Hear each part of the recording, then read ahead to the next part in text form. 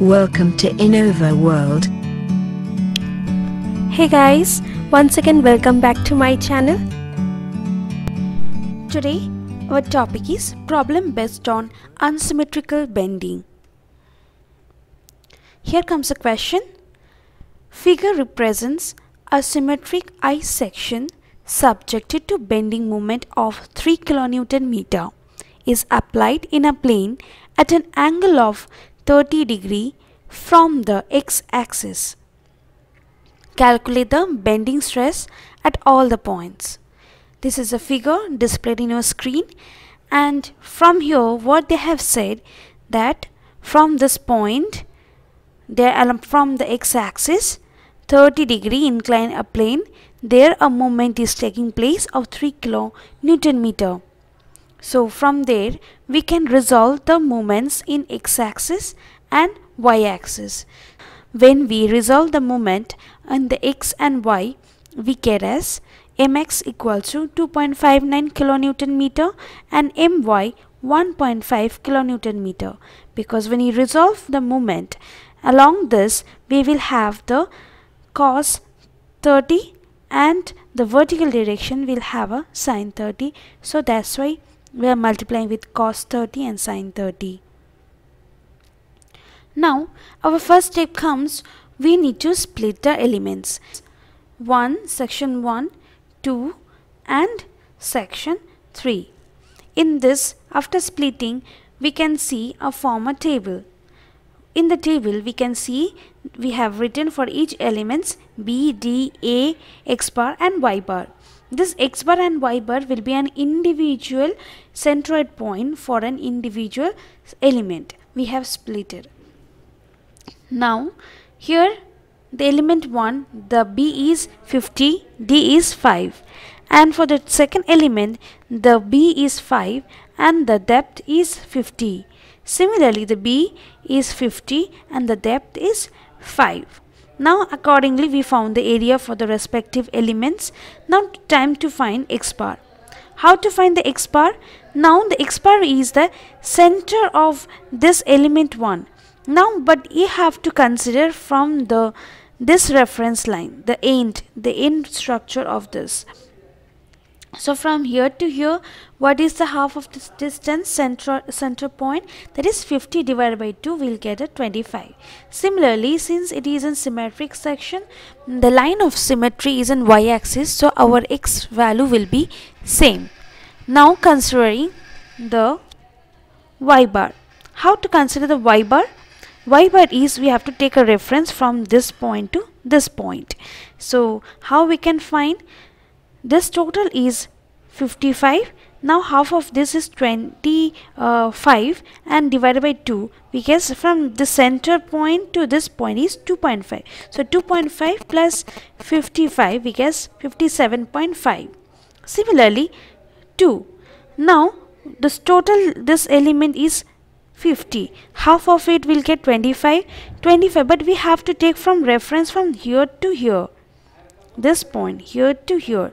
So we have to see find is our value is 50, uh, 25 plus 5 we get as 30 30 now from here to here half of it.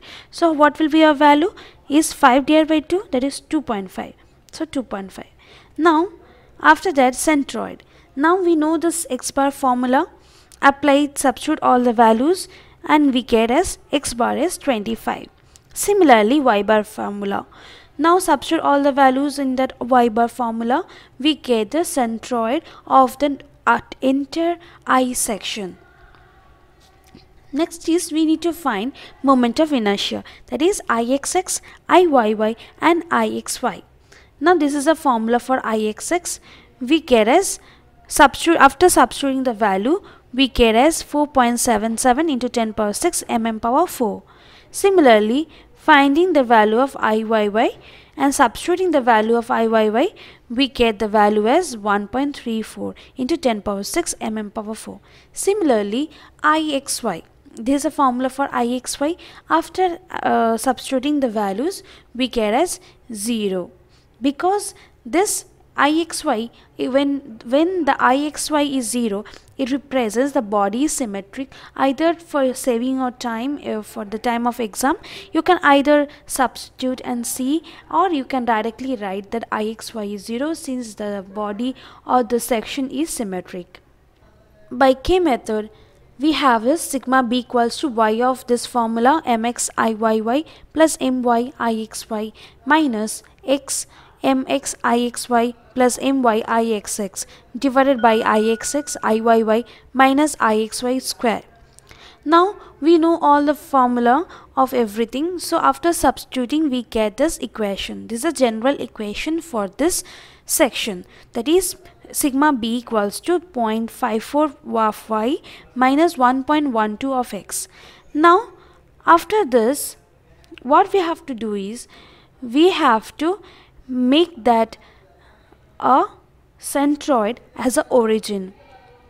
Now we know the centroid x bar is our 25 and y is 30 so we get the centroid point as 0 comma 0. Now from here we have the equation that is sigma b equals to 0.54 of y minus 1.12 of x. Now from here we need to find the coordinate of x and y for the particular sections we will find the important section that is a b c d e and f now we have the table here of this how to make the coordinates. Now we know that along the x-axis when we go towards the left hand side we get as negative and the right hand side is positive and when you go upward we get as positive and downward we have a negative. Now consider this section is the centroid point is on the origin. And now we have to locate this coordinate.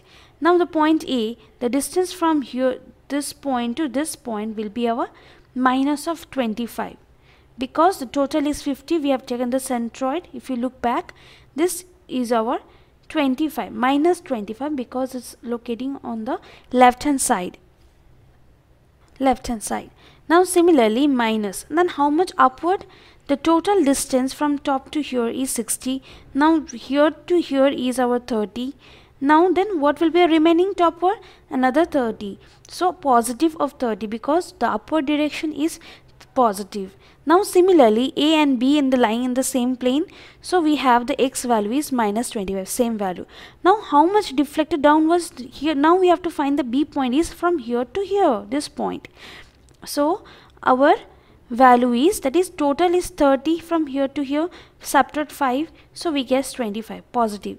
And this individual value you apply here and we get as 44.2 and similarly for the b point you substitute here 41.5 so similarly the c point you see here from distance from here to here is just minus of 2.5 and the distance is belongs to the same that is b and c lie in the same point so we have the 25 now apply this value in this equation and you get as 16.3 Newton per mm square. Similarly, the other points are also followed the same. And from here, we can obtain the maximum bending stress at the point A that is we are getting as 44.2 Newton per mm square.